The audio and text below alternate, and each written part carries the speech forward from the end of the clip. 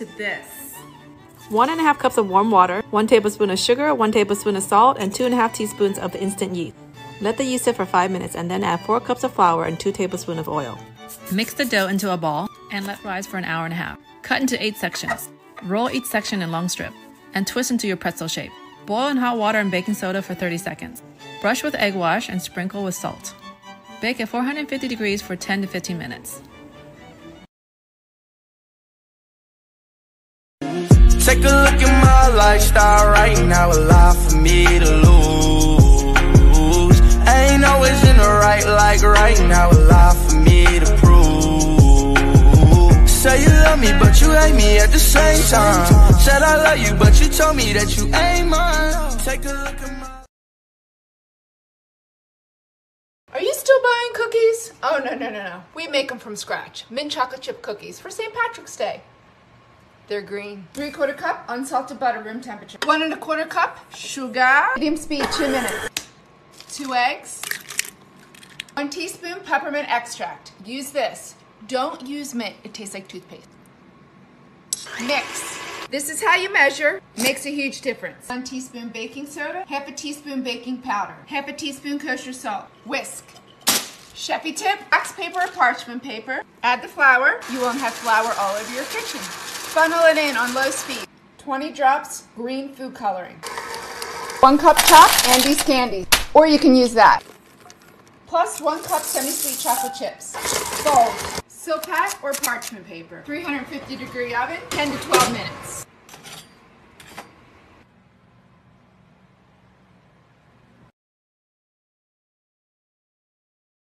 Today we're making these three ingredient s'mores cookie cups. You're going to need one package of cookie dough, one package of marshmallows, and one package of Hershey's bars.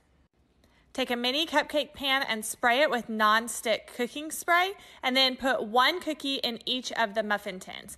Next, you're gonna wanna take the end of a plastic spoon and press out your cookie dough to form a little bit of a cup and then bake in the oven at 350 degrees for 10 minutes. While that's happening, I break up my chocolate bars. When it comes out of the oven, place one marshmallow in each cookie cup. Then turn your oven on broil and you're going to only stick your cookies in there for about one to two minutes until they have a nice brown top. Place one Hershey bar in each of your marshmallows while it's melted and you're done. It's bite-sized s'mores perfection. Today we're making the easiest cookies you've ever seen. And you only need three ingredients. Mix one cup of peanut butter, three quarters cup sugar, and one egg. Mix together. Boom. Roll into balls. Place on a baking sheet.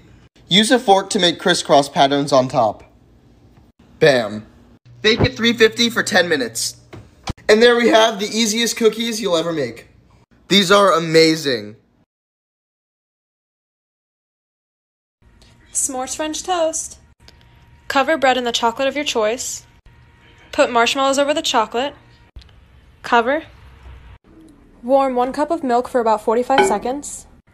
Add four cups of hot cocoa mix to the milk. Mix. Wait for the milk to cool down. Crack three eggs in a bowl. Add one teaspoon of vanilla. Whisk together. Add the hot cocoa mix. Mix together.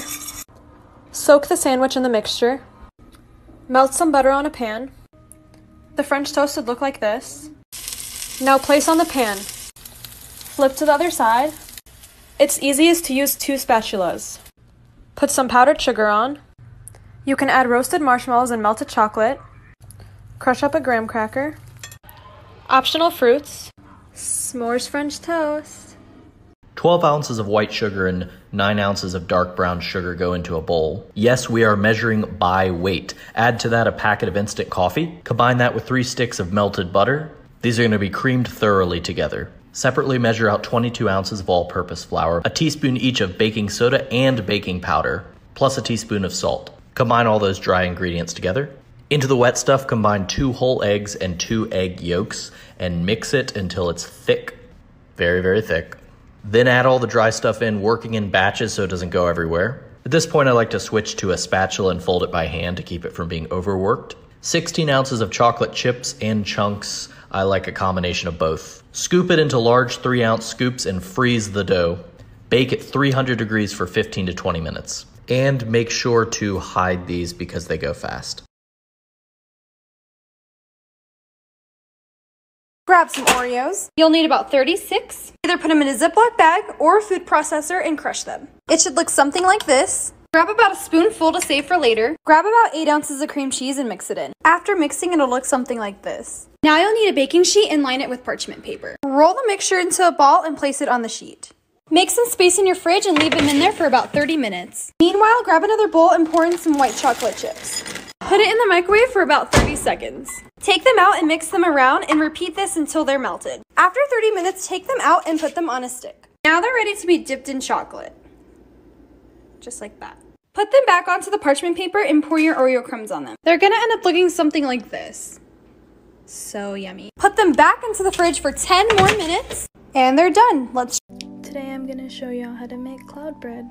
I've been seeing it all over my For You page, so I knew I had to try it out, and it's super easy. You just need to whisk together egg whites, white sugar, and cornstarch until you get really stiff peaks. You can change the color and the flavor just by adding those things in, or you can leave it plain, and it still looks really cool. Just bake it at 300 degrees for about 25 minutes. I did 26 and it was perfect. I really like how it dissolves like cotton candy.